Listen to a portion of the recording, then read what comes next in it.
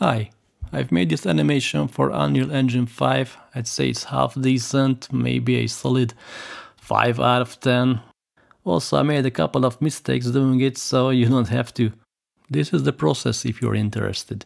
Grab your phone or your DSLR camera and film yourself eating invisible peanuts. Select the one you like and trim its end and start, so you will have the shortest clip possible. Then go to deepmotion.com, sign up for a free account, click Animate 3D, check the guidelines, realize that you shouldn't have used a solid colored clothing. Next time dress as a sailor and not a bank robber. Casually ignore your mistake and upload your video. After a few seconds it's analyzed and you can continue. Now you can select the default characters, you can mess with the settings or just leave it as they were. Click create and after a minute or so your animation is done. And it's not bad. Just, just look at it. I mean, just after a few clicks and you have an animation eating peanuts. Let's just take this time to say thank you to the crew of Deep Motion for making this possible free. Oh, enough of the peanuts already. You can choose different meshes, but we have our own, so we won't use this.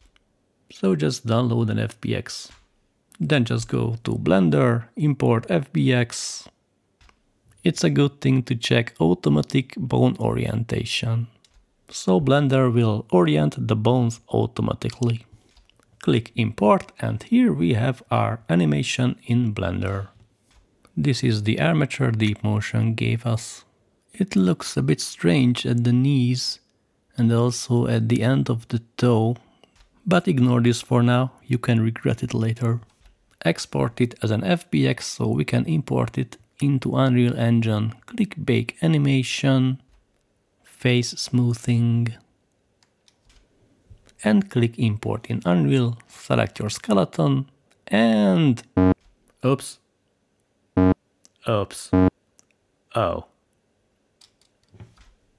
Okay, I used a Mixamo skeleton for my character, so obviously the name of the bones are totally different. So just rename the bones using Blender's batch rename tool. no, Blender's batch rename tool cannot rename bones. So I used a tool from Matthias Petscheider called Simple Renaming Panel. After renaming, the names of the bones in the deep motion armature will match the names of the bones in the Mixamo armature which was used in Unreal Engine. You can ignore this warning after importing and... okay, so it turns out that using the deep motion default armature is a total dead end. You shouldn't use it, I just tried something else here, but okay. And now let's see how to make it properly you can upload your own characters. So DeepMotion will use those armatures and bone names and everything, so you don't have to mess with the renaming. Just export the armature you use in Unreal, in this case it is from Mixamo, and you can upload it to DeepMotion.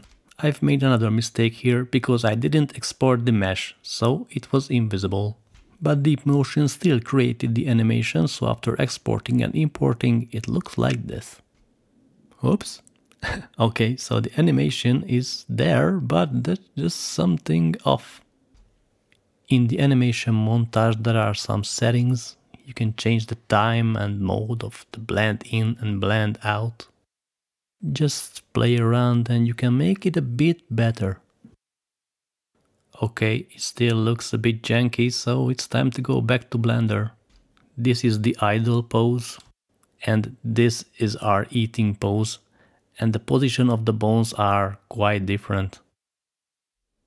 The most obvious parts are the legs and also the shoulders. So it's time to match up the bones and also refine some movements in the animation. And after an hour or so, this is the final animation. It's not that bad.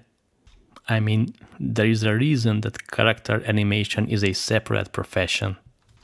Also, this is the first time that I use Deep Motion and I'm happy with the result. That's it for now. Learn from my mistakes, go create. Cheers.